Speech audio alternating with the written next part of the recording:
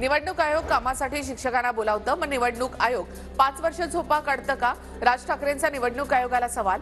तर शिक्षकांनी निवडणूक आयोगाच्या कामावर रुजू होऊ नये. राज ठाकरे यांचं निवडणूक आयोगाला आवाहन.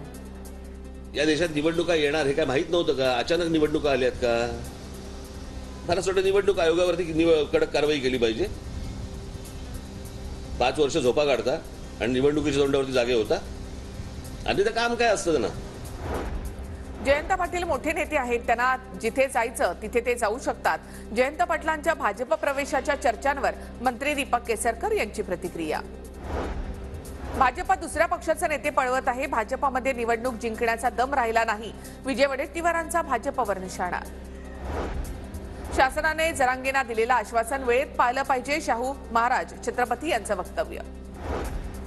मागासवर्ग आयोगाच्या अहवालासंदर्भात उद्या अधिवेशन. मराठा आरक्षणासंदर्भातील ठराव होणार.